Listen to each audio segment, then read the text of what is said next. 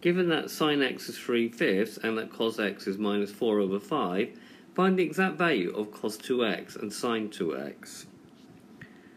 So sine x is 3 fifths and cos x is minus 4 fifths. So cos 2x will be equal to cos squared x minus sine squared x, using that identity for cos 2x. So cos 2x is going to be equal to minus 4 fifths squared minus 3 fifths squared. Minus 4 fifths squared gives me 16 over 25 minus 9 over 25. 16 take away 9 is 7 over 25. For sine 2x, we know that sine 2x is 2 sine x cos x.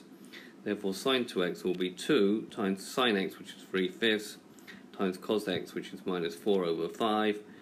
And that's just going to give me minus 24 over 25.